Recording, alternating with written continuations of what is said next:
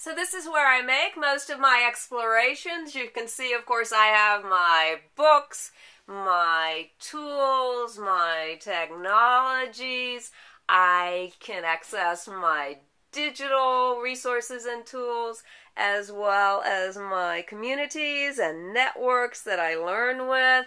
And some might call this my personal learning environment. I call it my personal learning universe. Or even bigger than that, space. So I like to share my space too. Hey, geek.